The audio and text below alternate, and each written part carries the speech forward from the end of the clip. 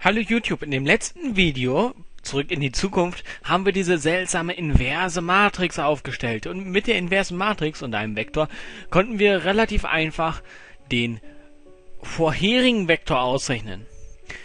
Ähm, wie haben wir diese inverse Matrix aufgestellt? Für 2 Kreuz 2 Matrix Matrizen ist das ziemlich einfach, eine inverse Matrix aufzustellen. Und zwar nach folgendem Schema. Wir haben irgendwelche Elemente, zum Beispiel A, B, C, D. Und um dann eine inverse Matrix davon aufzustellen, müssen wir einfach nur die Elemente oben links und unten rechts austauschen. Das heißt D, A. Und die anderen beiden Elemente machen wir negativ. Das heißt minus B, minus C. Das heißt einmal äh, diese beiden Elemente austauschen und diese beiden Elemente negativ machen. Dann haben wir eine inverse Matrix noch nicht ganz.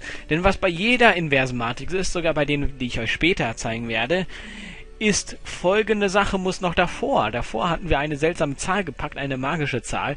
Was war diese Zahl? Die Zahl war die sogenannte Determinante von der Matrix. Also in diesem Fall von A.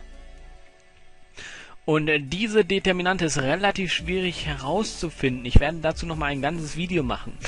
Die Determinante ist oben links minus äh, mal oben unten rechts, meine Güte, minus unten links mal oben rechts. Das heißt minus c mal oder b mal c. a mal d minus b mal c.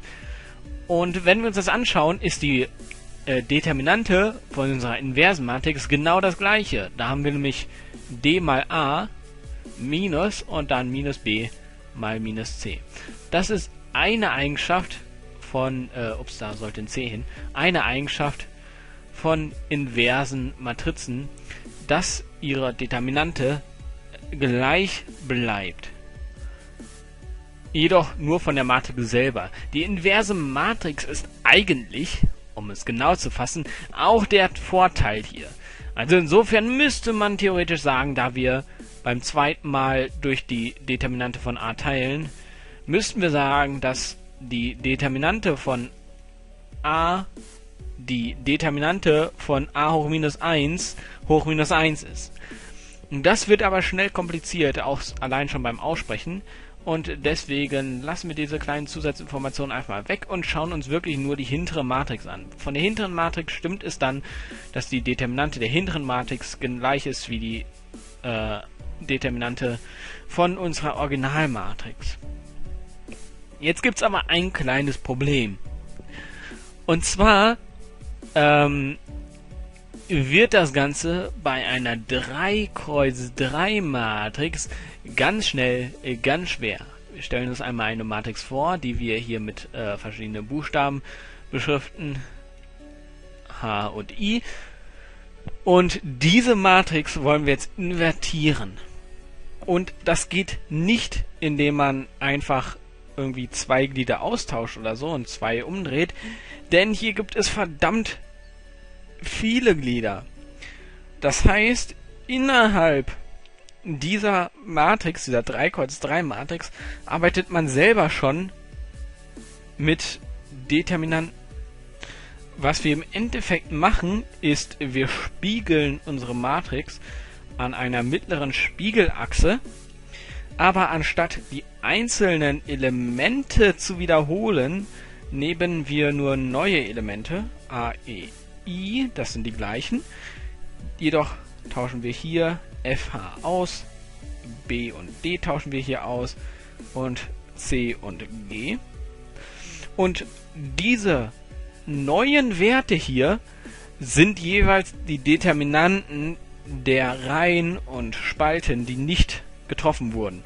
Das heißt, hier vorne ist A in der ersten Reihe und ersten Spalte und dieser untere rechte Teil ist der Teil, der von A nicht getroffen wurde. Das heißt, die De Determinante von diesem unteren rechten Teil wäre jetzt unser neues A. Von D ist in der ersten Reihe und zweiten Spalte, wäre es theoretisch die Determinante von dem und dem Teil hier oben. Das heißt, man müsste sich das ein bisschen, äh, das wird schon ein bisschen schwieriger. Das heißt, es wird hier schwieriger, viel schwieriger.